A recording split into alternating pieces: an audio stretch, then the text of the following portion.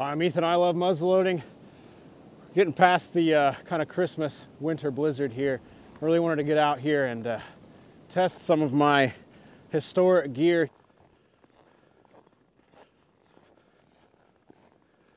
So what I'm doing here is trekking a little bit through the woods around my homestead here. It's a much younger woods than we would have seen in the 18th century, especially in this part of the country.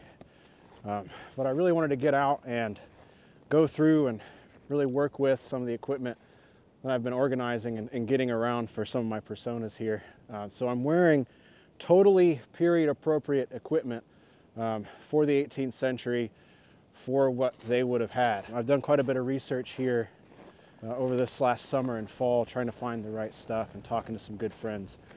And uh, much like with any other equipment that you might have if you're into camping or woodworking or anything kind of hobby related, you really need to get out and practice with that equipment. And that's something I really wanted to try doing uh, in this kind of bitter cold. Now, I don't recommend necessarily that you yourself go out and do this. Um, I do have my phone on me.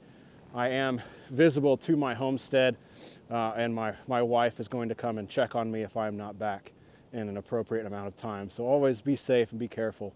Uh, I'm doing everything I can to do this safely. Um, don't want to take necessarily the nasty weather that we can go through uh, for granted and, uh, and not take it seriously.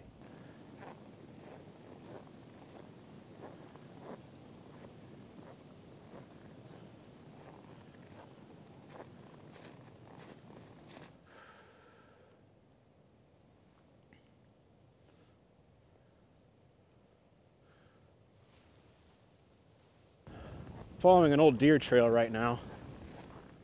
Kind of I work along a, an old creek bed here.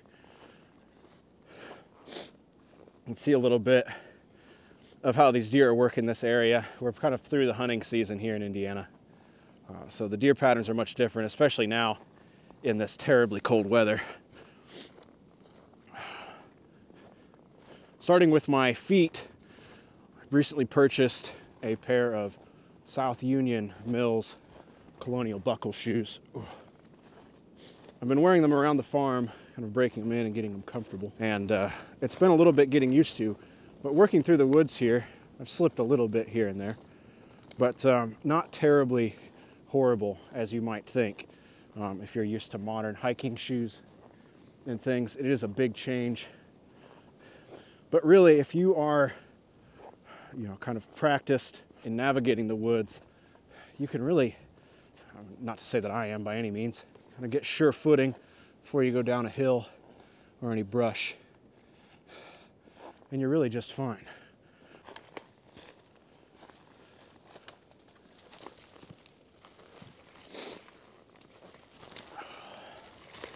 Inside my shoes are obviously my feet.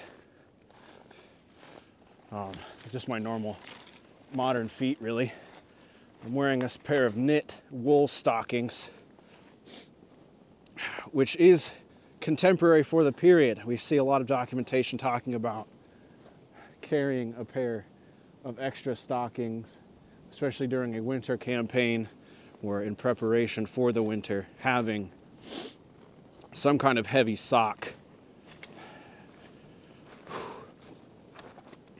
So that's what I'm wearing. Nothing underneath it. Like I said, try to do this as period as I could here for this little excursion.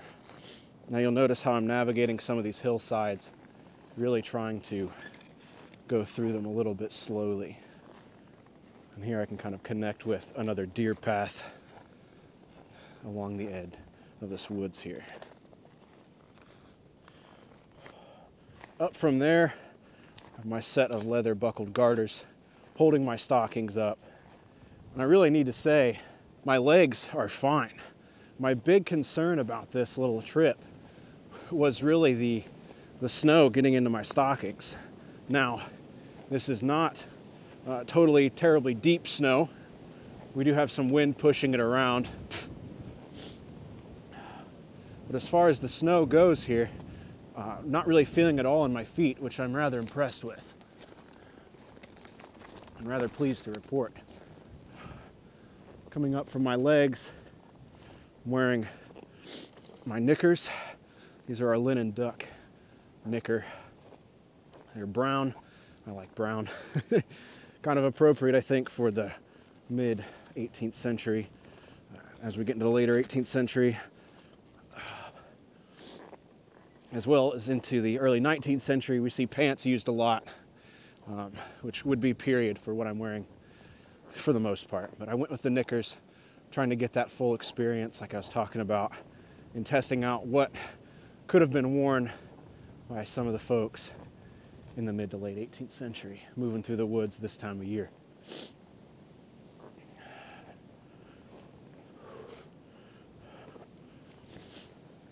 Coming up to my torso, I have a linen shirt.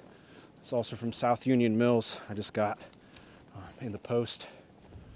Very pleased with the quality on it. It's recommended to me by Jake Book of the Shirt Tail Mess as a more period appropriate shirt than I have been wearing. Really pleased with the quality on it. Uh, very affordable.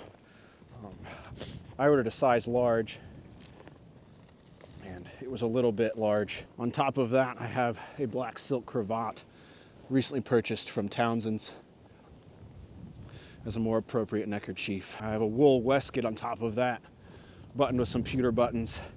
My waistcoat, this purple one that I'm wearing, is more of a 1750s style waistcoat that you might see kind of the F&I period. I'm kind of going out of fashion then as we get into the 18th century. On top of that, you can see here, I have a French and Indian War era, kind of a seven years war era coat on top. This is all wool with some linen on the inside. But I really very warm, even in the winds, as I'm sure you can see in some of the brush around me. On top of that, on my head, I'm wearing my not quite appropriate glasses, but we're working on that. You'll notice I have my ears wrapped with a piece of linen.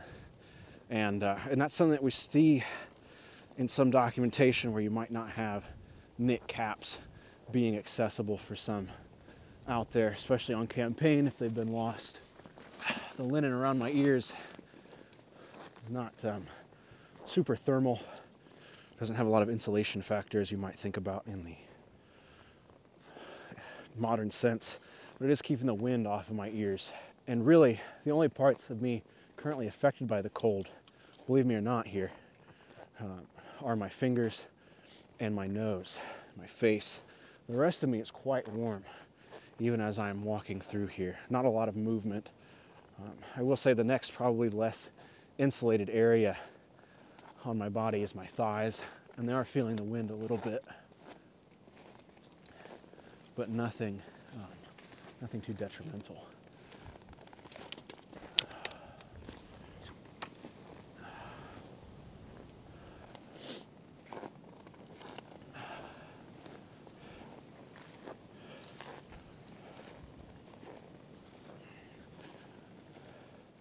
All in all for this trip, I walked about one and a quarter miles through the woods here in this kind of chilly weather. Uh, the wind chill was down around negative 12 and the air temperature was right around zero. And really back in the woods for this walk, I didn't really notice the wind a whole lot. As a little bit of a review of the equipment that I took out, I'm very impressed with how well it held up and how warm I was through the entire walk. If I was going to be out for an extended period of time, I'd really want some wool mittens to cover up my fingertips. Uh, that would really decrease a lot of the minor discomfort that I felt. As far as the footwear goes, I know that there's a lot of hesitation about these kinds of shoes. It's kind of colonial footwear because I had that same hesitation myself. But it really performed well for me going out on this walk. Now, I wasn't on a life-saving or, or life-threatening march or incursion, you know, through the wilderness here. I could kind of do this casually and at my own pace. Uh, the really the only difficulty I had was either going up or down a hill. Navigating hills is kind of like cross-country skiing, um, at least in my experience. Uh, I had to kind of cut across the hillside diagonally to get up it, and then coming down that hill, I pointed my toes inward so that any sliding I did would be kind of limited, and I used uh, kind of the terrain being in the trees and kind of the scrubby little growths here and there to kind of hold on to to navigate that terrain. Obviously not as, as nice as, you know, my insulated muck boots uh, for going through kind of a snowy terrain like this. But apart from the navigating the hills, the shoes really did well for me. You can see in the video I slipped a few times here and there, but nothing catastrophic. That being said, once I got back inside, I removed my wool stockings and removed the shoes. I really noticed how much my feet had gone through during this walk. Now, it wasn't anything to be worried about. There was no evidence of frostbite or anything. And there still was a limited amount of moisture and snow in the shoes. But I did notice that the shoes themselves were becoming very saturated and my stockings as well, at least down on the soles of my feet. I, I'm not sure that it was necessarily sweat or a combination of snow and sweat, but my stockings were noticeably uh, a little damp as well. So I think in terms of longevity here, we're seeing similar experience in, in my little walk that we might see in some of the historical journals that we can reference about moving through the wilderness or moving through the wooded terrain with this kind of equipment. You see a lot of times in these journals, multiple pairs of uh, stockings being carried, um, like we talked about a little bit earlier, heavy and light, uh, so you can switch out and dry out the stockings from the day, as well as at least one ancillary pair of moccasins. Regardless of if you're wearing the shoes, you know, kind of a colonial buckle shoe, a lot of times we see folks carrying a set of buckskin or buffalo hide moccasins if they're out in the woods for a long period of time so they can switch out and dry out and keep their feet dry. That being said, I would not be at all concerned to go on a, a days long hike in this equipment. I know it's going to be wet. I know the shoes aren't waterproof. It's not Gore-Tex. I know my feet are going to be a little unhappy at the end of the day, but I don't think it's out of the question in the modern era for us to do this, you know, in my instance, for a little bit of fun all in all, this was a lot of fun. It was a lot of fun to get out and test some of the equipment and test some of the clothing and see kind of some practical application of it in these cold weather temperatures that we experienced here in, in, the winter of 2022. I really encourage you if you have, you know, some cold weather clothing or if you have, uh, you know, a little bit of this bug to get out and try it. Go out and try it. Do, you know, do it safely. Uh, you know, do it appropriately for your capabilities in the area that you're in. But I really enjoyed it, and even coming back, I, I I found myself thinking more and more about what I could do next time and, and how I could improve this and, and, maybe what I would adjust to go further maybe in another trek. You know, I think for me, you may have noticed my pack was a little tight on my shoulders. I adjusted the straps for that pack and, and stitched them up and I did not think about a cold weather layering as far as how much I would be wearing. So for a spring, summer, warmer temperatures, the knapsack uh, on my back worked very well, but for winter temperatures, I need to add just a couple inches, I think, on both sides to make that a little more comfortable. There'll be some other things, but that's really, this was just about getting out and having some fun and sharing that little excursion with you. So I, I really encourage you to get out there, enjoy some of this stuff, enjoy some of this clothing, enjoy some of this gear. You know, it's not something that you just have to bring out at an event, you know, or, or when you're when you're dealing with the public. It can be a lot of fun to, to put this stuff on and, and try it out for yourself. So I'm Ethan. I love muzzleloading. Thank you so much for watching. If you'd like to learn more about this or anything else related to muzzleloading, please visit ilovemuzzleloading.com. I'm going to link to a couple blogs in the description of this video, uh, the Buffalo Trace 1765 and the Shirt Tail Mess. There are a couple blogs I've been reading a lot of uh, this year and this winter, especially since I've been inside so much. Um, but they provide a lot of great documentation, source material for you to reference. I've been referencing it and I really encourage you at home to reference this as well if this is the kind of thing that you're interested in. Thank you so much for watching. We'll catch you next time.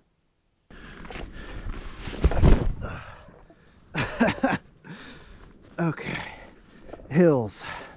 Not a fan of hills.